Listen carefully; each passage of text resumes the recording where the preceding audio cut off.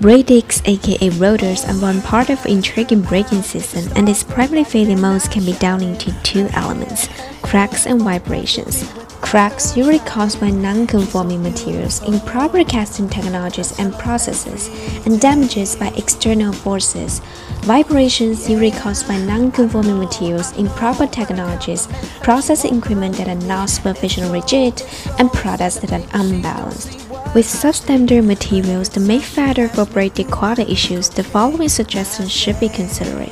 Inspections of raw and auxiliary materials, optimization and adjustment of production process, advanced equipment with sufficient rigidity, dynamic balancing, and the last one constant hardness monitoring.